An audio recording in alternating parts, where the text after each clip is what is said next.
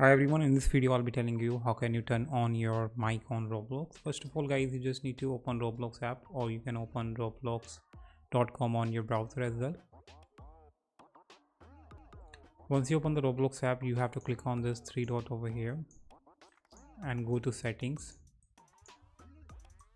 Now just need to guys click on this privacy option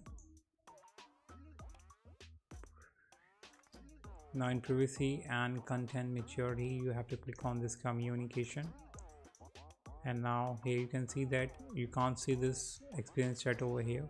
So basically you can't see any other voice chat over here. So if you don't see this uh, the voice chat option here in privacy and content maturity you have to go to in account info and verify your number if, if you don't see voice chat here.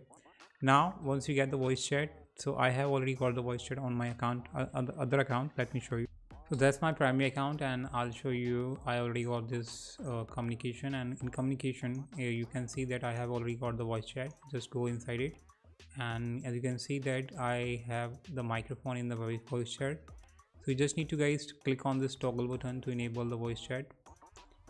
Click on it and you can click on to enable and disable at the same time. So yeah this is how you can do it guys. This is how you can turn on your voice chat. Subscribe for more video. Till then bye